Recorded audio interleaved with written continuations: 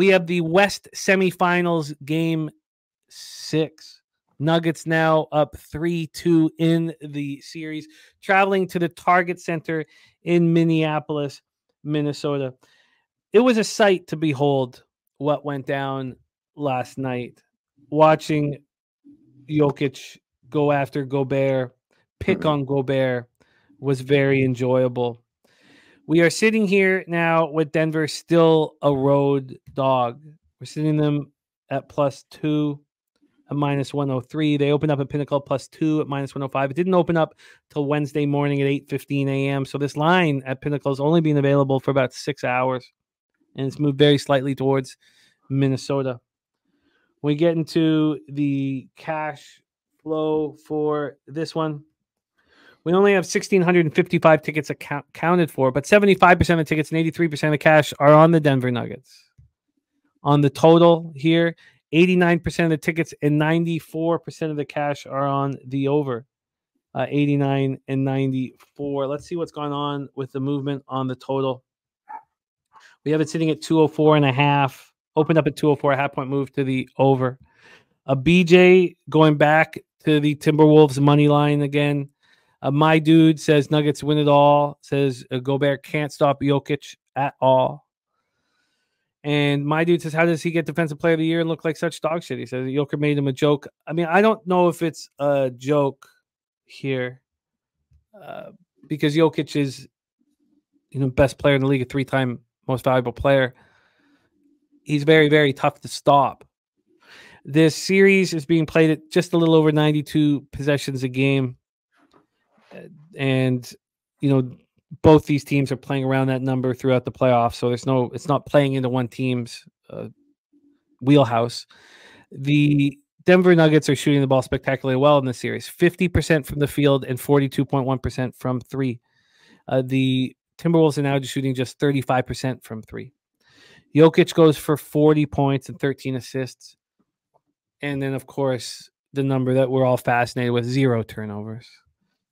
20 of his points came against Rudy Gobert. He went eight of nine from the field against him. He did anything he wanted, got anything he wanted.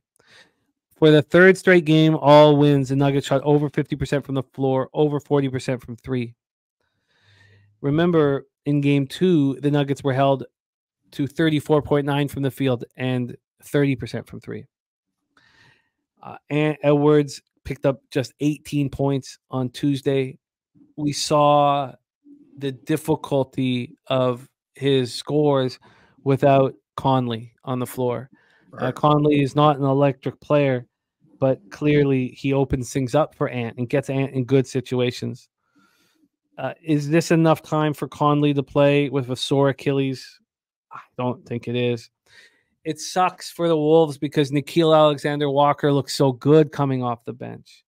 But if you need him to play 39 minutes, it's a problem. It's a problem. He's just he's just not meant for that right now. So the Denver Nuggets have been winning these games comfortably without Michael Porter Jr. helping. Right. Uh, ineffective. Uh, four points in game four, six points in game five, which tells you that the Nuggets are the real deal. Mm-hmm. Take it away for us, Dutch. Game six of the West semifinals. Yeah, that's what's scary about the Nuggets, man. Is Michael Porter Jr. has been MIA this this uh this series. Aaron Gordon been the second best player on the team. Jamal Murray ain't even been that good. I mean, now we've seen a better version of him, but Aaron Gordon's been the second best player on this basketball team. Um, you know, Caldwell Pope did show up last game. Uh, you know, but it's it's unbelievable what what we're seeing out of the Nuggets when your your stud, you know, guard who just two game winners in the series before against the Lakers, really been kind of struggling. Uh, shout out to the Minnesota defense. Um, and, and, you know, haven't really been getting much from uh from any of the role players outside of Aaron Gordon, who's just, you know, really looked like he another level. And uh obviously you you touched on Joker.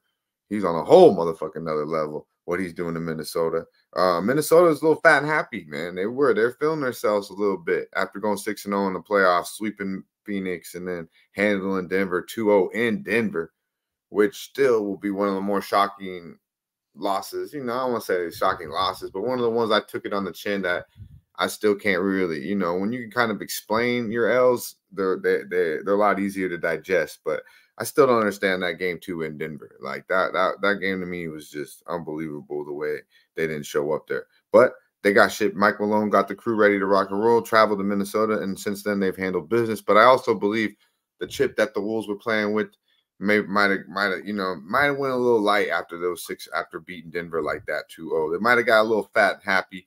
Um, but this game to me, Jim, I do believe this series is over, but I don't know if it's going to be over in game six. Denver's not losing to Minnesota in the in this series. But I'm going to pay attention to the line, and I think the line will tell us everything we need to know in this basketball game. Um, I do think that I do think Minnesota. Uh, you know, you you listen to and after the after the um after the game in the press conference, man, he was just patting Joker on the back. It looked like he was defeated, but it's one game. He gets back to practice. They're gonna refresh, and I do believe they'll show up. Now, I would like to see Conley out there. Obviously, that does put Alexander Walker back to where he needs to be on the bench. And Conley, say what you will about him, but he's he's a point guard. He's a leader of the team. You've seen him on the bench. You've seen what he was trying to do, keep the team involved. It didn't help because Joker's just that damn good. Um, but I'm hoping that I see this line drop, honestly. Um, and um, into Denver's and, and, people be betting Denver. Everyone in the chat already, it seems, and I just know this is what it's going to be: Denver, Denver, Denver. So I'm right where BJ's at, as long as the line tells me that. You know, I'll I'll probably go to the window with Minnesota here, because uh, the NBA don't give away free motherfucking money, and and everybody's gonna act like this is gonna be free money with Denver. Now, if this line moves to two and a half or three, I might pump my brakes a little bit, but I don't see that happening. I see it going probably more towards a one and um, get a better number um, on Minnesota, and I will be on Minnesota here. But I do believe the series is over. Game seven in Denver. Minnesota does not stand a chance. Um, but I just believe the world will be on Denver in game six, and that's the NBA for you. So it'll be Minnesota or nothing for me in game six. I'm hesitant to back Denver here, and I certainly don't want to fade them. Yeah, it's tough, but it's like if the line tells you, you kind it's like throw you kind of got to throw a unit on it because it, it it's been it's been pretty good, you know. Um outside of the other night, outside of the other night, it, it just it didn't make sense to me. But yeah, that that's that's my read on this game, Jim. It's it's definitely scary to fade Denver because I, I do think they're clearly better than Minnesota. But they lose this game, and then and what do they do? They go back home for Game Seven, and it's still you know, and it could be you know writing on the wall for these boys. So. Very, very interesting. And my apologies, uh, Cody. Horse races here. We're moving to Thursday and Friday because Thursdays we have the short MLB card. So horse races from now on are Thursdays and Fridays. Fifty dollars up for grabs. Thursdays and Fridays. Let's talk a little bit about this total.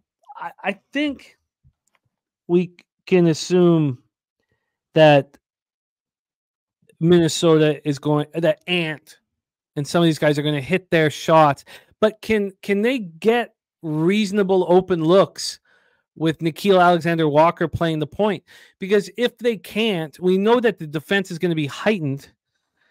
If we can't, do we look for an under here in this one? Because this total has yet to move, and 89% of tickets, 94% of cash is on the under.